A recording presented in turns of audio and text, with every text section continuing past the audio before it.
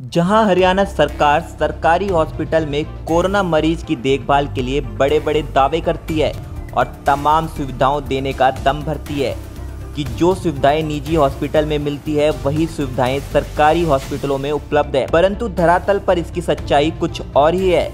आइए दिखाते हैं आपको कैथल के नागरिक हॉस्पिटल की ये दिल दहलाने वाली तस्वीरें, जिनको देखकर आपके रोंगटे खड़े हो जाएँगे। देखिए किस तरह से मरीजों को बेड के साथ बाँध कर रखा जाता है। मरीजों को और बुज़ुर्ग महिलाओं को बिना किसी के सहारे कैसे ज़मीन पर तड़पने के लिए छोड़ दिया जाता है? क्या ऐसे होता है मरीजों का इलाज? भले ही हॉस्पिटल, प्रशासन, स्टाफ को लेकर या सुविधाओं को लेकर कितने ही बड़े बड़े दावे क्यों ना करता हो, परंतु कहीं ना कहीं यह तस्वीरें नागरिक अस्पताल के कैथल की पोल खोल रही है। इन तस्वीरों को आप ध्यान से देखिए।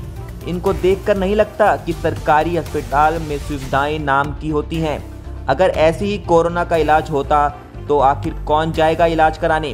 भले ही हॉस्पिटल प्रशासन द्वारा वह तमाम सुविधाएँ देने के जो दावे किए जाते हों, परंतु इन तस्वीरों में वो सभी दावे कहीं ना कहीं धरस्त होते नज़र आ रहे हैं। कैथल नागरिक अस्पताल के कोरोना इलाज के दौरान की तीन वीडियो सोशल मीडिया पर जमकर वायरल हो रही हैं। जहाँ आम नागरिक को सरकारी हॉस्पिटल में जाने से डर लग रहा है। मई कोरोना के नाम पर जो इलाज किया जा रहा है उसको लेकर लोगों में भारी रोष है। ये जिस हालात में किसने कैसे ये ली है मैं इस चीज़ की पुष्टि नहीं कर सकता। हाँ इस मरीज़ के बारे में मैं ज़रूर बता सकता हूँ। इन मरीजों से मैं खुद भी मिला हूँ। मरीज़ बिल्कुल स्थिर हालत में है। मरीज़ आराम कर रहे हैं ऑक्सीजन पे हैं।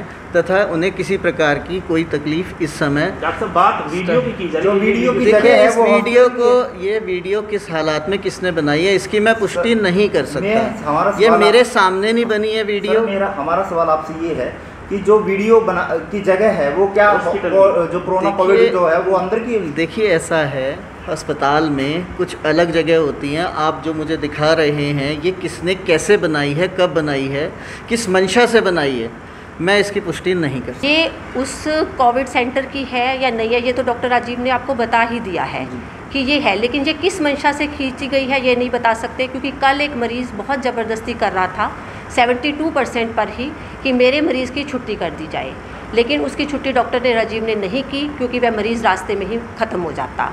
इस कारण शायद हो सकता है कि किसी ने ऐसा किया हो या कुछ मरीज़ कल कह रहे थे कि हमें अपने रिश्तेदारों के पास अंदर जाने दो। उनको ये कहा गया कि आप अंदर मत जाइए आपको भी खतरा है हम केयर कर रहे हैं हमारी स्टाफ नर्सिस अंदर हैं।